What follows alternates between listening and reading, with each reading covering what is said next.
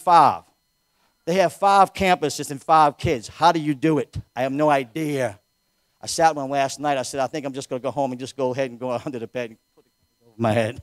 But I said, no, I got to get up. Are you the pastor of the church? Amen. Listen, we love having you here, but we're going to do something today. We're going to receive an offering to them for them.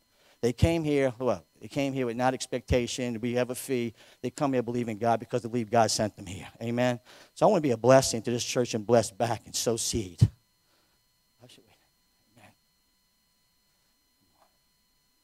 If you have a check, you can write it out to World Prayer Tabernacle and just put down Pastor Rick. Or if you go online, you want to give online, what you do, just put Pastor Rick, and we're going to do it all at one time. But I want you to know that we're going to sow seed back. People come here and, and impart things to you, and we want to sow back to them because you know your time is valuable.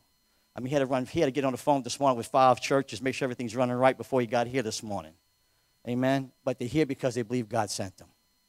How many believe that? Amen you here today. Father, I want to thank you for the seed. I want to thank you for our friends. I want to thank you for our family, too. I want to thank you for their giving of themselves, oh God, and come here to, Lord, impart something with us, just share something that the Spirit of God has given them to this church in this hour. And I want to bless them beyond measure. I want to take the limit off of blessings. I ask that you would sow back, Lord, to them, Lord God, greater measure, Lord, in impartation. I bless their home and I bless their children. I bless their family over there today. Watch over his church today. That nothing go, eh, everything goes smooth today over his church in Pittsburgh, over the campuses. I speak that and I speak it over them. I bless them. Say, I bless them. I bless them. From the top of their head to the soles of the feet. And we love them. And they family here. You family, you family here, brother. Your family here. In Jesus' name, be blessed. Amen. Amen. Well, Pastor Rick, look, I'm going to turn it over to you, brother. That's it. You got it from here, brother? Well, my house is your house. Whatever Holy Ghost has today, we all for it, brother. Don't hold back. Amen. Amen. Don't hold back. Amen. Amen. Amen. Let's just uh, give Pastor Derek a big hand there. And come on, all the leaders here. Can you do that? Come on, you can do a little better than that. Come on, y'all doing good today? Y'all doing good? Come on, I'm trying to work on my southern uh, southern accent. I, I, know I talk a little funny to y'all, and um, but that's you're gonna have to put up with that for just a little bit here. And um, listen, this is what we're living for. Um, we're not just trying to have a good Sunday. We're planting seeds to have a good decade. It's all about 2030. And that means we're planting seeds right now that we believe that are going to bear fruit over the next decade. But how many of y'all know that a lot of things can happen in a decade? A lot of things. And the church you see right now here is going to be totally different in a decade.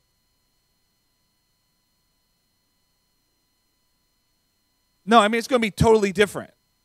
I can't tell you how it's going to be different, but it's going to be different. There's going to be more people. There's going to be people that some of them are going to be like you, and some of them are going to be totally not like you.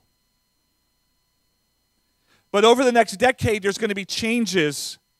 But as we as we walk through the changes and as you walk through them, God's going to have to direct you. And there's times when you're you're going to be you're going to feel like you're losing. There's times when you feel like you're just breaking even. Uh, I I play tennis, and uh, I enjoy tennis. I know somebody the other night down here said, "Is tennis really a sport?" Yeah, it's my sport.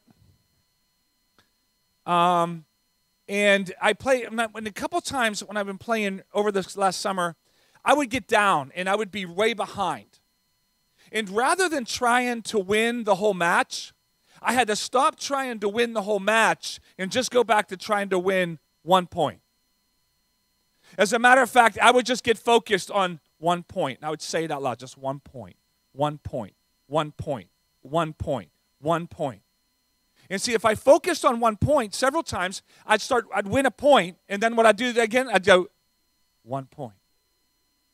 And then pretty soon, as I focused on each point, points turned into games. And then, it, then games turned into a set. In the set, come with the sets turn into a match, and matches turn into history. And in our life, as we're keeping score, we need to realize that sometimes it's just decision by decision by decision. And as we make these decisions, we turn them into games, and games turn into life groups. And then pretty soon, life groups turn into more church services on Sunday morning. And pretty soon, all the sets start matching up, and it turns into more campuses or more locations. And then you get a match, and then that's how you make history. But we make history going back to one point, one decision at a time. So if we want to win a decade, it's going to take decision by decision by decision. Because after all, we don't need more entertainment, we need a lot more demonstration and participation. This is what we need, and this is what I believe Jesus is asking for here. Come on, Proverbs 29 18. If people can't see what God is doing, they stumble all over themselves. But when they attend to what he reveals, they are most, they are most, come on, but when we get behind, come on, when we stop, when we stop seeing what God's doing and empowered to see that, we have to go back to the basics. Last summer, I'm playing tennis. I lost my forehand. I don't know where I lost it, but it was gone. And so I said to my wife, Natalie, I said, I got to do something about this. And so um, I went, hired an instructor. It cost me $120 to find my forehand. But it only took her a few minutes looking, and she goes, Here, let's just play five minutes. She goes, Oh, I know your problem. I says, Do I get a discount since you know it so quick? And she said, You're not following through. So it cost me $120 to follow through. In many of our lives, we get something in our heads, our hearts, but we're not following through on what God has given us to do. And if we want to see a decade, we're going to have to follow through. We're going to have to see what God is doing, apply ourselves to that, and move forward. Because after all, we are a part of a movement, not a monument. See, a movement is a story of your future, a monument is a story to your past. Not saying your past is invalid here at World Prayer Tabernacle. It's awesome and it's wonderful, but we're not here to build a monument to worship the past. We're here to build a movement that steps into our future. But if we're not careful, we're going to miss what God is doing and we're going to forget of what why he put us here. I walked into a coffee shop, a small establishment. You may have heard it called Starbucks. Walked in one day, and um, it was early, early morning, about 5:30, and I ordered coffee. Went to the door, ordered coffee, and I said, "I'm sorry, we don't have any coffee." I'm looking for the cameras. Like, okay, no, no, no. I mean, I really, I just need a coffee. To, they said, "I'm sorry, everything's broken. We don't have coffee today." I'm like, no. No, come on. I, you, you have coffee. I know you do. And they go, No, we don't. And so I had to drink tea. Okay, tea's okay, but it's not coffee. And so I stepped over to the side and I watched person to person come up to the counter and order coffee. And like, oh, we don't have that. No. Come on, you do. You're kidding me. no, we don't have any.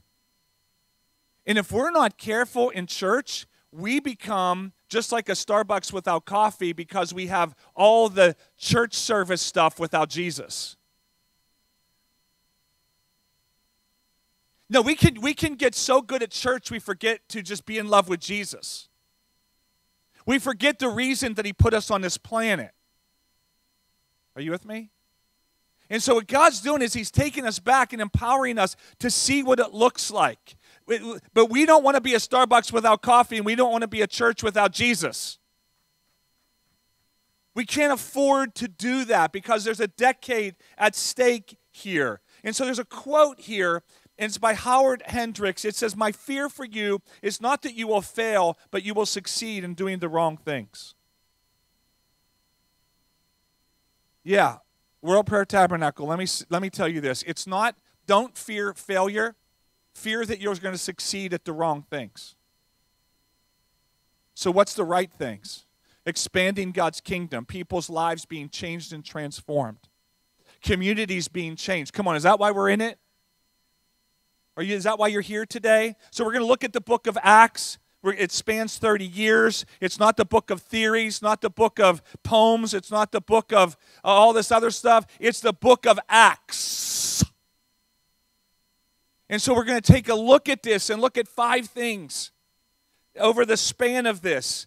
And, um, and there's a lot of changes that took place in the book of Acts, but we need to get them because if we, if, because if we're, listen, we're a part of a movement that began in Acts and continues today, and that's why we're here on this planet to continue what began there. Are you with me? We're not here to hold on. We're not here just to, to hope we make it. But that means there's going to be a lot of changes that are going to need to happen. Because the book of Acts is all about change. And so we find it here, and, and there's changes going on. So, and by Acts 4, they're, they're telling them, stop preaching, stop talking about Jesus. They're threatening you. And so here we find in Acts 4, here it is, Oh, now, O Lord, hear their threats and give us your servants great boldness in preaching your word. Stretch out your hand with healing power. May miraculous signs and wonders be done through the name of your holy servant Jesus. And after this prayer meeting, the place shook and they were filled with the Holy Spirit. And they preached the Lord, preached the word of God with boldness. Prayer and power go hand in hand. And if you're going to make it through this decade, you got to get in love with Jesus to the point where you want you want the power of God, but it's found through prayer.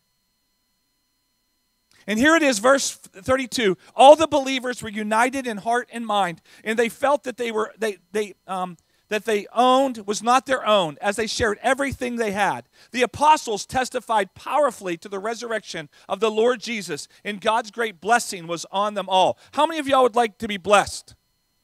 Remember, if you can see God and respond to what He's doing, you shall be most blessed. And here we find that they were great blessing. The unmerited favor of God was upon them all. So here they were united in heart. Do you know what united in heart means? It means being in sync. Just for the record, that's not a picture of our five kids. Yeah, you got to be in sync. Come on, you willing to be in sync? You got to be in sync. That means pulling in the same direction together. That means spiritually moving together. Being united in heart, they were going the same way spiritually together. This requires movement, it requires decisions. Are you willing to be in sync? All together, pulling together. It's where we get the word cardiac. But not only does our heart, it says that we need to be united in our minds. That means we need to breathe spiritually together. We need to breathe spiritually together. So our hearts and our minds must be one going into this decade because there's going to be changes and transitions that are here upon us. But we all have a false sense of what unity really is. We have this thought that unity is all peaceful and great. Unity will get challenged every step of the way. Unity is both practical and powerful. Practical in that they shared everything voluntarily together. They just shared everything. That was practical. And the unity was powerful. Can I just tell you this? Unity isn't unity unless it's accomplishing something. Unity is not the goal. Unity is the means by which we get to the goal, which is stepping out of our comfort zones, forsaking comfort, forsaking convenience, and stepping into the move of God. But it's powerful. Let me ask you a question. As soon as you close your notebook and you stop taking notes and you stop recording what God is doing, you're already in decline because we're not recording and responding to the Word of God. Now, as soon as your notebook goes closed, you stop growing. Now, let me ask you a question Are you getting older or more mature? No, I'm serious. There's a lot of people that are just getting older. No, I'm talking about Christians who've been in church a long time. They just keep getting older, but they're not getting mature. Mature is when you can act and respond. And, the way we raised our kids was not to take responsibility for themselves, but we would know that our jobs were done when they could take care of somebody else. That, my friends, is maturity. That, my friends, is stepping into a movement. That, my friends, is a practical and powerful unity. Blessing was on them all. We're not just here, come on, to, to, to hang out. We're here to depopulate hell. This is, this is major work here. Are you with me? This is a major deal. I'm not here today to teach you. I'm here because I need an experience with God based on the Word of God. And I'm going to take heart to this so that I can leave here a different person than when I came in. I don't just want to get good at doing church, I want to get good at becoming like Jesus. And we become like Jesus. Unity is a gift of God given to a group of people to accomplish God's purpose and mission. So here we are. If you want to see the future, you want to be empowered, you got to see what God is doing and take this gift from God and say it's to accomplish something. So we're going to be one heart, one heart, one mind, practical and powerful. We're moving forward. But the problem is is we mistaken we mistake unity with agreement. Unity and agreement are two different things. My wife and I, we have unity. We like to eat. But we don't agree when we go to the supermarket, to go to the, the, shopping, the shopping center, the supermarket, on how we're going to do it. We disagree greatly. She wants to make it an experience that we do together. I want to see how quick I can get through. Can I beat last week's time? I think we can do it. So we disagree. We get to the store, and there's times when, when we say, okay, this is going to be an experience.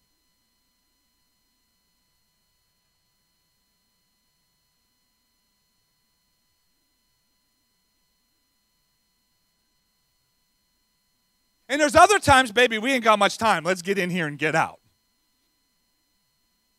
But we have unity at the end of the day. We're going to eat. We have disagreements all the time on driving.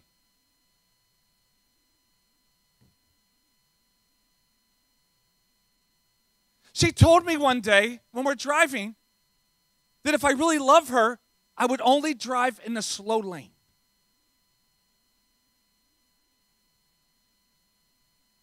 I love you, but I can't. Hmm. And there's times when she points out to me the slow lane's open. And there's times I look at her and say, I got to pass this guy. She told me that one time right before we were making a long trip, an eight hour trip. I says, baby, if, if this is going to be slow lane, fast lane, you're going to have to go separately. You can leave two days early. I'm good. But we always have unity. We're going somewhere. See, see, and, and, in church life, we mistaken unity with agreement because you're going to disagree on the, the paint on the walls, the times of the service, the colors of the shirt, who picks the songs, and how loud they are. But at the end of the day, we're going to have unity. We're going to help the hopeless and hurting get healed and headed in the right direction. People ask me, I ask people by church this all the time. I said, How many people here know what I don't like about the building that we're in? And we have five different buildings, so this is all the time. They'll say, Oh, I didn't know you didn't like anything about the building. I said, How many of you know what I don't like? And everybody's like, no, I don't know. Do you know? Do you know? I don't know. I don't know. And they're asking, do you know? And I says, you know why you don't know? Because it doesn't matter.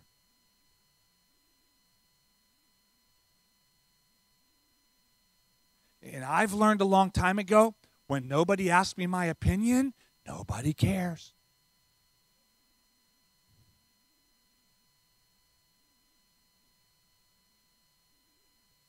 But at the end of the day, we're going to win people. We're going to see them changed and transformed. We're going to see expansion, and we're going to keep growing. Man, I would meet at 3 a.m. in the morning if I thought we could get people coming out of the bar and to come to church. We changed the name of our church. Um, it'll be two years ago this March. And um, people were like, why are you going to change the name? And there was a lot of reasons. We just, you know, we went to Bridge City Church. Um, the younger generation needed to embrace it. That's just why we did it. And people said, well, well, what's with this change in the name? I'd said, listen, if I thought more people would meet Jesus, I'd change it every two months. I'm not married to a name. I'm, uh, I'm, I'm connected to Jesus. Called Babaluki Fellowship for all I care. I mean, as long as people are meeting Jesus, I'm good. But how many people you know, you start telling your friends, yeah, come to Babaluki. It's like, man, I ain't going there. Mm-mm. No, I'm not feeling the Babaluki thing. Mm-mm. No, what I'm trying to say is we get we get married to the wrong things. But I want to be in a place like Psalm 133. How wonderful and pleasant it is when brothers live together in harmony.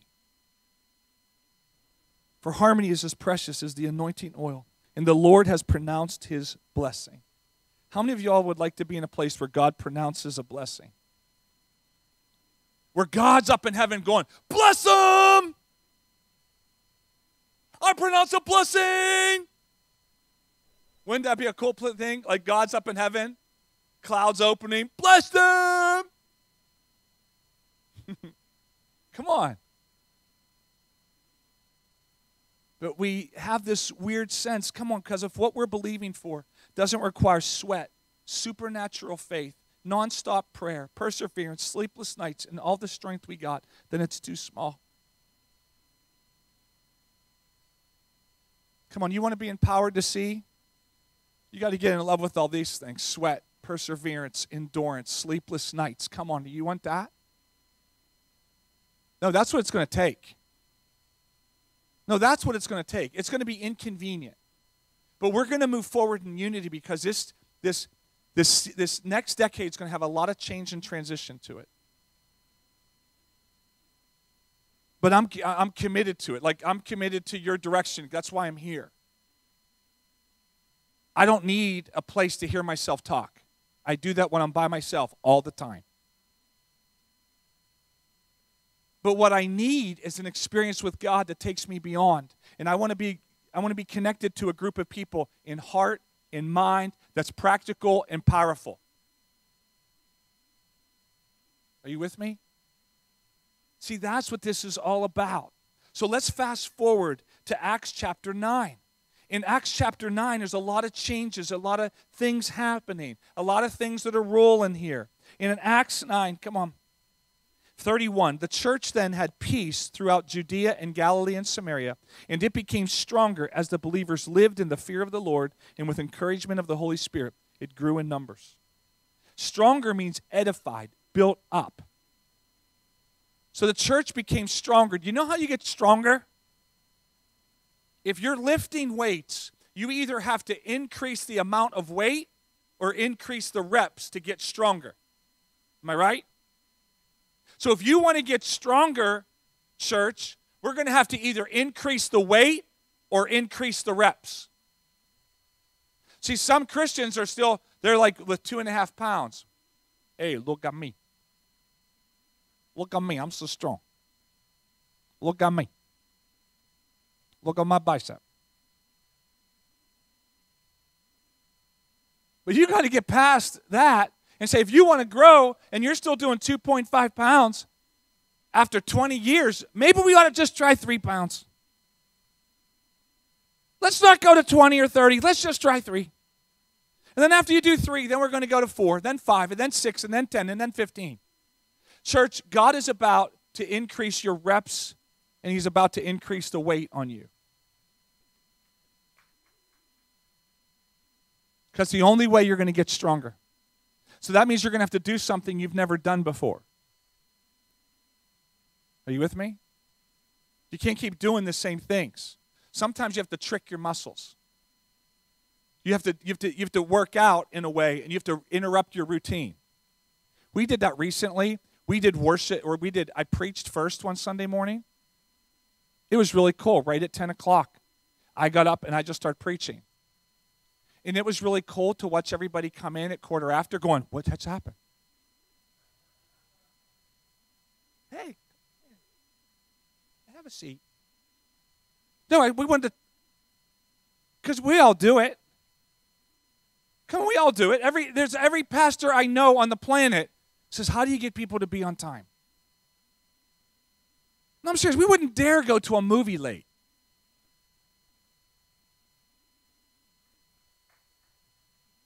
Go to a movie? Well, I'm, I'm paying $15. Well, maybe you ought to put more than $15 in at church, and then maybe you'll be on time. I don't know. Just a thought. Y'all good? No, no, I'm serious. Like we got to we got to get out of our routine and we got to get into life group. And we got to get to that victory weekend. All the people who tell me they don't need victory weekend, you need it the most. We know it. God knows it. Your spouse knows it. Your mama knows it. Your boss knows it. Everybody knows it. But we convince ourselves we don't need it. Been there, done that. Never, never, never am I going to be a been there, done that. Never. Because I want to get stronger and I'm going to need to increase the weight. I'm going to need to increase the reps. Come on, this is what we're going to have to do. God is increasing you here. Now, listen, let me just tell you this. I learned this a long time ago. In sports, and whoever here, male or female, that played sports, tell me if I'm right or wrong. When your coach thought you had more inside of you, didn't they challenge you more? When, when they knew you could do better, didn't they say, Come on, you can do it. Come on, get back in there. Come on, do this. Come on. They challenged you. But when they knew you, this is as good as it gets for you, they just went. They stopped challenging you. And I believe that the Holy Spirit is still challenging each and every person that can hear my voice right now because God and the Holy Spirit believes there's more inside of you. See, when, so if you're feeling challenged, that's God saying, I believe in you. I believe you can do this. I believe you can walk in unity. I believe you can you, you, you have more inside of you. But when God starts giving up on you and you stop being challenged, that means ah, oh, that's as good as it gets for you. How many of you are still feeling challenged? Okay, not everybody. I still got some time left. Come on, two things that we're going to need to become stronger in this verse. Two things. Come on. First of all, the fear of God. Second of all, the encouragement of the Holy Spirit. First of all, the fear of God mentioned over 300 times in the Bible. Come on, the fear of God, the fear of God, it's like I don't like what God doesn't like and I like what he likes. That's as simple as I can put it. That's it. It's, it's, that's what the fear of God really is to me. I love what God loves, I hate what he hates. God, what do you love? I love that. God, what do you hate? I hate that. That's the fear of God. I want more of the fear of God in my, my life because it saves me from myself. And then encouragement of the Holy Spirit. It's paraklesis, not parakeet. See, many people say it's a parakeet. No, it's not a parakeet, it's a paraclete. Paraklesis. It's a coming alongside. It's we need God to come alongside of us. So the bottom line is what are we doing here at World Prayer Tabernacle that's demanding, God, I need you to come alongside of me? No, what are we going to believe for that says, God, I want you to come alongside of us because unless you're with us, unless we're with you, it's not going to work. Come on. So we need the fear of God and we need encouragement of the Holy Spirit. So what's the Holy Spirit? We're going to we're going to believe God for people come on to meet Jesus and people to take their next step with God and people to become responsible for others. This is a decade full of this. Not just one week. One week you go to life group, that's good. How about a decade full of growing and, and, and, and moving forward? Are you with me? That's what I'm in it for. And I don't want to settle for just, I don't want to settle for just where we're at. And Pastor Derek and Pastor Bonnie and all the leaders here, thank you for allowing me to come. So, how are we going to do this? We're going to go back to one point. And points are going to turn into games, and games are going to turn into sets, and sets are going to turn into a match, and then matches are going to turn into history. But it's going to take all of us to do it. So there's five things I gave you that we're going to need to do in the next decade. Five things. Be united in heart, be united in mind, a unity that's both practical and powerful. We need the fear of God and we need encouragement of the Holy Spirit. This is your decade right here. This is it. This is your decade. The fear of God. Come on. This is our decade here.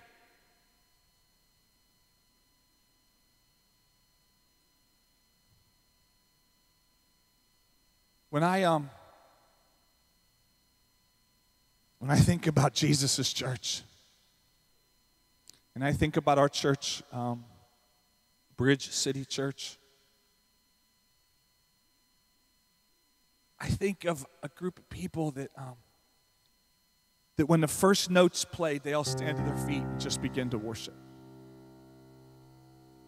I think of a group of people when the Word of God's beginning to be preached, everybody can't wait to open their notebooks and let's take notes because my Monday through Saturday is about to change.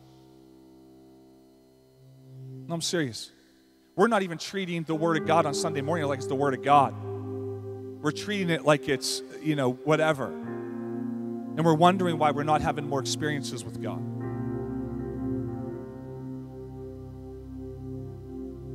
When I think about Church, I think of a line of people outside waiting to get in. I dream about that day that people are longing to just worship Jesus so much that they would get there early and wait in line.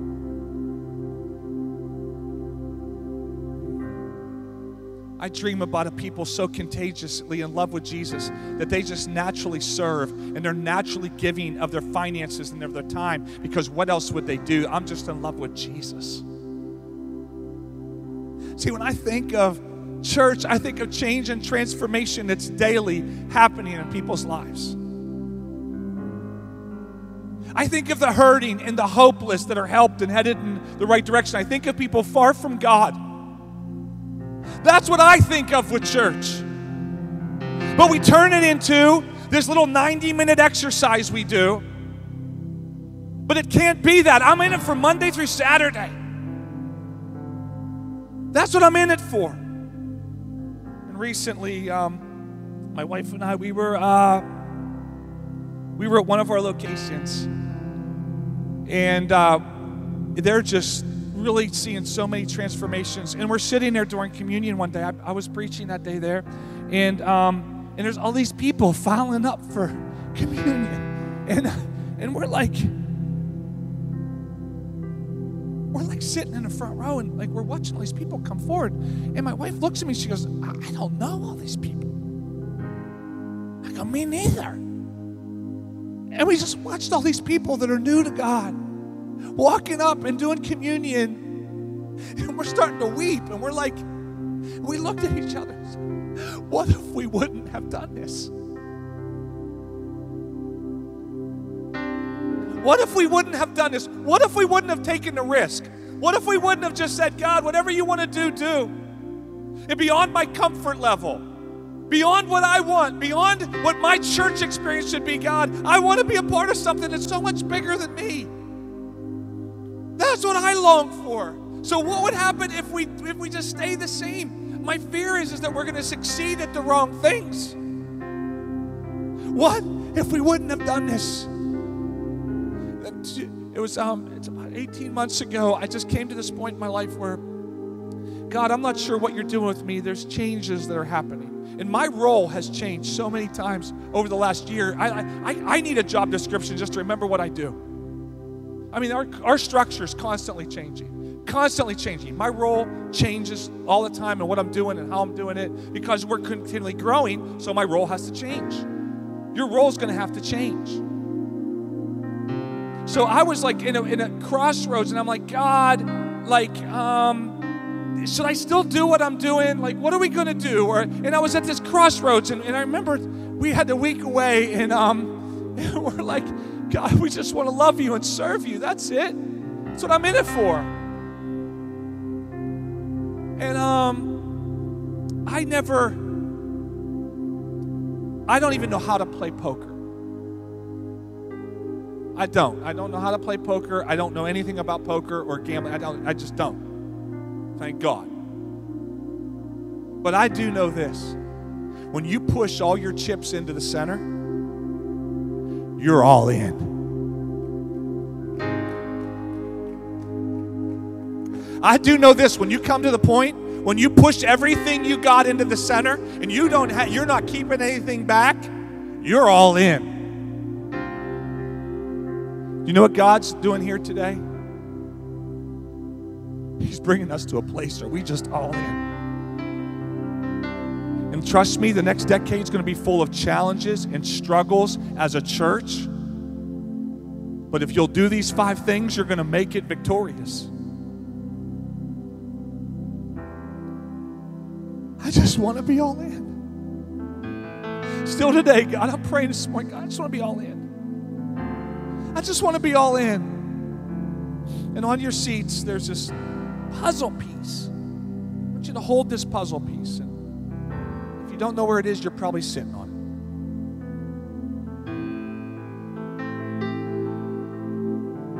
it. Just a bunch of puzzle pieces. That's all these are.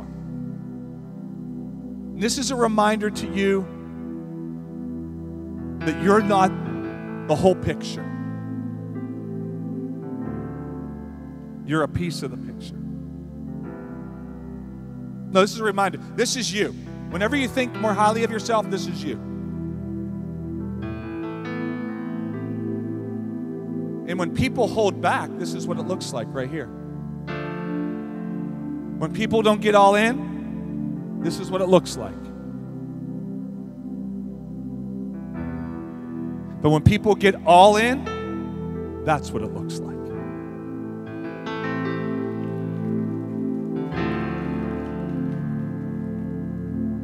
So I want to ask you a question. You all in? No, are you all in? Whatever changes you want to do to my role, God, my change, the change in my life, the change in what I'm doing, doesn't matter. It's time for people today to step up, step into the unity God has. So this is what we're going to do today.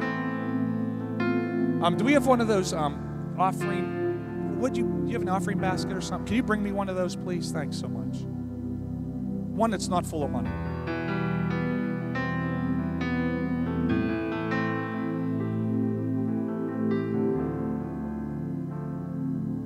I want you to hold on to your piece right now. I want you to have it in your hand. And I don't know, I don't know who's a member here, who's not. I don't know who's visiting.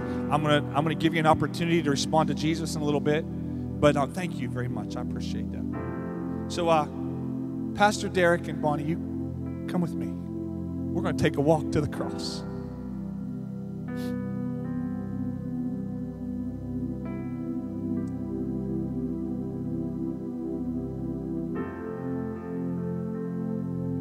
I want you to hold on to this.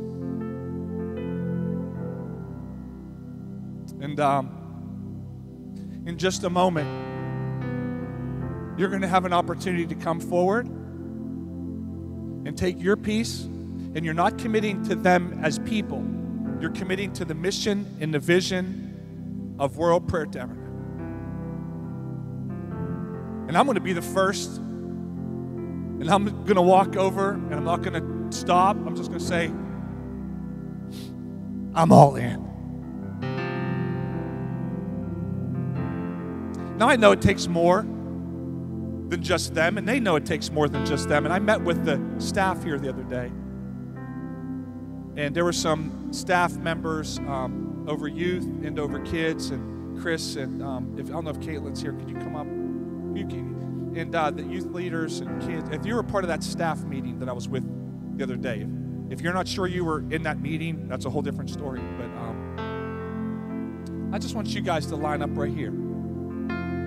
Because it takes more than just you. We know that. So you guys are just going to line up right here. And um, the worship team is going to come up in just a second. And you're going to have your opportunity to take your piece of the puzzle. And we're all going to walk over. And all you're going to say, no, no, no, you don't need to give an explanation or pray. We're just going to look at them all and say, I'm all in. I'm all in. And then we're going to drop our piece in. And then you're going to make your way back to your seat. Don't leave. We're not done yet. And we're going to allow God to mark this moment for us. So let's stand to our feet. So if you want to just express you're all in to the vision and direction, you're saying, Well, I don't know about all the vision and direction for a decade. How can I be all in? You don't have to know it all. You don't have to know it all. Do you think they knew it all in the book of Acts? Come on, would you have got did you know everything marriage was before you got married? Uh-uh. But we got unity. We're staying married. Through everything we've been, we're staying married. We're staying connected. So in this moment, if you want to just express, you're going to come down the center, then out, around, and back to your seats. Let's be all in, church.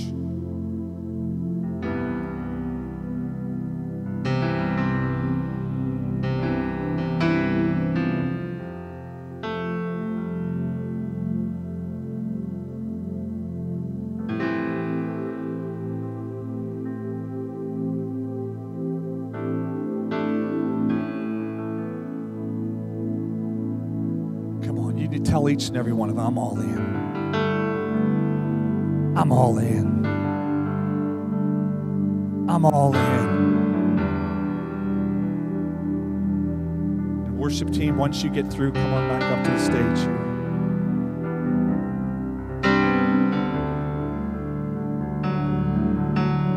Come on, look at each and every one of them. The last time you said, I'm all in? I want the youth of this church to experience God. I'm all in. I want the executive pieces of this church to, to experience God. I'm into every part of this church. Look at them all. Look at them all as you go through there. Look them in the eyes. Say, I'm all in.